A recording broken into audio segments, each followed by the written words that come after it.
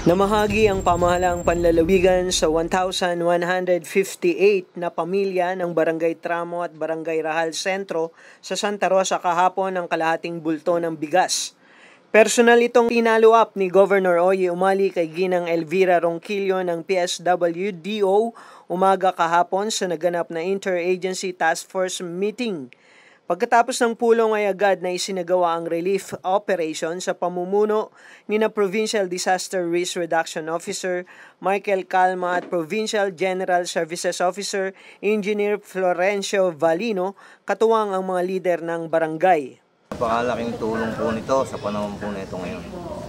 Kasi sa nangyayari po sa bansa natin, eh napakalaking tulong po nito para sa mga kabarangay. Napakahalaga po nung natanggap naming ayuda galing sa Kapitolyo kay Governor Oy Matias Sumali. Napakalaking bagay po sa kagaya po namin na, na naapektuhan na po kami ng COVID-19. Tulad ng mga naunang isinagawa ng Kapitolyo, muling sinunod sa relief operation ang panuntunan ng physical distancing. Naglalabas ng mga upuan ng bawat pamilya at doon inilalagay ang kalahating bulto ng bigas.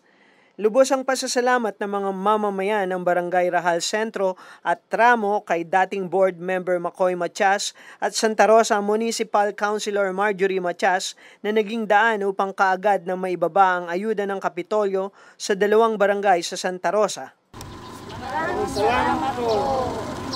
Hindi man nakadaupang palad ang punong lalawigan, ipinarating ng mamamayan ang pasasalamat sa pamamagitan ng pagdidikit ng mga papel sa upuan na kung saan nakasulat ang kanilang pasasalamat at pagmamahal sa ama ng lalawigan.